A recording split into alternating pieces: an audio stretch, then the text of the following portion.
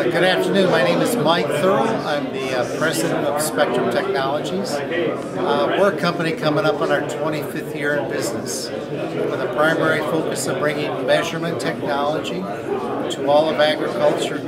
Basically four product groups, weather monitoring, nutrient management, pest management, and then soil properties like soil pH, moisture, compaction.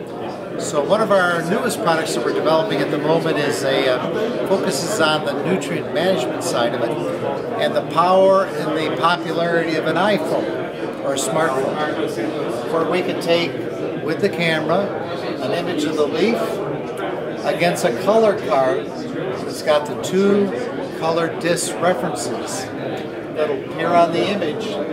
So the, uh, the app will have uh, some pretty high-powered color image processing software that'll look at the color of the leaf compared to these two color discs and will actually give us a nitrogen recommendation for corn at the knee-high side dress stage. So uh, this is just, I think, the start of some real powerful practical tools that can aid us in, um, in making nitrogen decisions. And of course, with smartphones, it'll be geo-referencing those measurements, so uh, it creates a lot of possibilities with a, an affordable platform. You know, this is actually new.